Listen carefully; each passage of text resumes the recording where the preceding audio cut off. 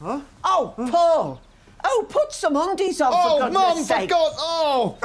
Oh, no! What? I've seen it all before. Yeah, not recently, you haven't. Well, you've not changed much, Well, really. that's not true. That's not true. And and the law has changed. That's actually upskirting. As per the Voyeurism Offences Act of 2019, it is a major crime. Oh, here we go. Spot the copper. well, Well, it's your fault for wearing a nightie. Yeah, exactly. it's not a nightie, it's a long t-shirt. That is a nightie. That's what a nightie is. Buy some pyjamas if you need to wear something in bed.